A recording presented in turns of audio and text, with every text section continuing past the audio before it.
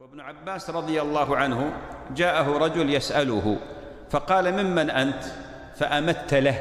ما معنى أمت؟ يعني انتسب فإذا به قريب لابن عباس. فألان له الكلام. ألان له الكلام. عرف بأن له به صلة وقرابة. ولذلك للأسف من الناس من يرفض قضية تعلم الأنساب جملة وتفصيلا وهذا تطرف. ومن الناس من يتعلم الأنساب لغرض الفخر والخيلاء ولغرض التكبر على خلق الله ولأجل الطعن في أنساب الآخرين. وهذا أيضا محرم.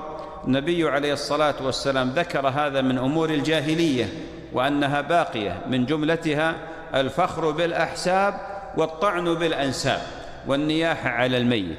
ولكن الوسط أن يتعلم الإنسان الأنساب لمقصد ولغرض. ما هو؟ صلة ها؟